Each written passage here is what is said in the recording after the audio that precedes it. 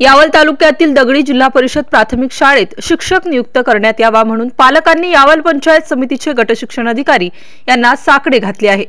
दगडी जिल्हा परिषद प्राथमिक शाळेत पहिली ते चौथीपर्यंत चार वर्ग असून विद्यार्थी संख्या सत्तर असूनही एकही शिक्षक नसल्यामुळे पालक वर्गात संताप व्यक्त करण्यात येत आहे.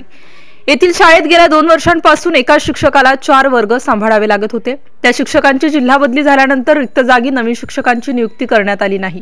याकडे या भागातील लोकप्रतिनिधींनी दुर्लक्ष केले. त्यामुळे शिक्षक मिळणे अवघड झाले.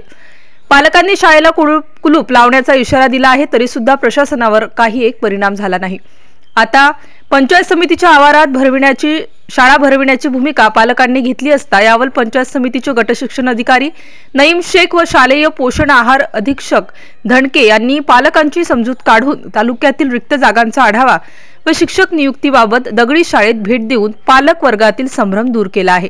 दगडी जिल्हा परिषद शाळेत रिक्त जागा भरण्यासाठी शिक्षक नसल्यामुळे यावल गट साधन केंद्रातील दोन कर्मचारी शाळेत येऊन अध्ययन करीत आहेत. जिल्हा परिषद अंतर्गत अतिरिक्त दहा शिक्षक असून त्या शिक्षकांना दगडी शाळेत नियुक्ती करण्यासाठी बोलाविण्यात आले आहे.